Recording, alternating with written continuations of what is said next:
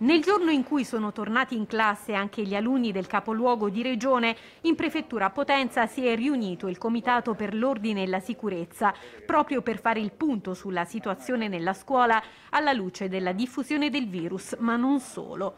Dal tavolo è emerso che secondo l'ultima rilevazione di ieri il tasso di assenza nelle scuole della regione è stato del 4-5%. Altro dato, sono 58 le persone tra docenti e personale scolastico che hanno ricevuto un decreto di sospensione perché non in regola con la vaccinazione, 66 coloro che hanno differito la dose.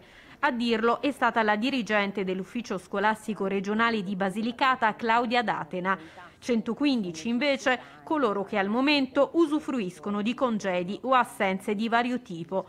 Ci sono poi i diversi comuni del Potentino che hanno mandato in DAD gli alunni, ordinanze che manifestano vizi di legittimità ed eccesso di potere, ha scritto il prefetto Michele Campanaro in una lettera inviata ai sindaci della provincia. Nel corso della riunione il prefetto ha chiarito che si tratta di una nota collaborativa. Le decisioni, insomma, debbono essere concertate con l'autorità di governo, ha spiegato il prefetto.